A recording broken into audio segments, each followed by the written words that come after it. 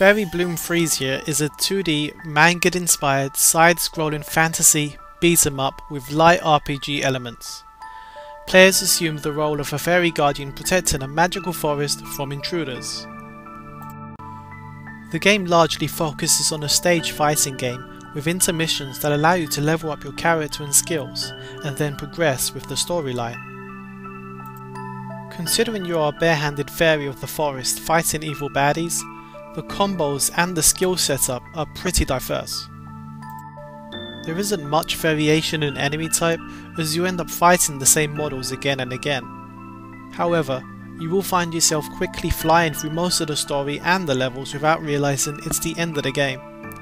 I'd estimate the completion time to be around the 2 hour mark.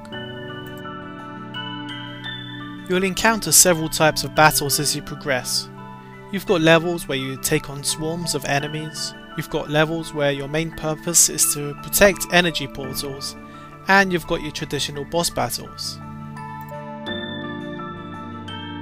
Looking at the positives, I'd say Fairy Bloom is a cool arcade type game which comes with some decent RPG features. These features add to the depth of the combat system, like new combo moves and increasing certain stats, like your health bar or the effectiveness of your block. If you're into the style, you'll find the graphics to be polished, as well as the sound design which is nicely done and appropriate to the on-screen action.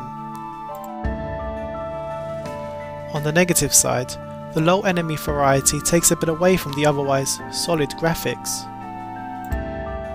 The controls were designed for a joypad but can be adjusted for a keyboard so it's not a big deal. It doesn't take too long to master the keyboard either considering you only really use three buttons. Your attack, your jump and your guard. This is the type of game you can simply pick up and put down at a moment's notice. Maybe when you have spare time on your hands or have nothing else going on. The story isn't too deep, and if you get any satisfaction from beating up waves of monsters, then this is the game for you.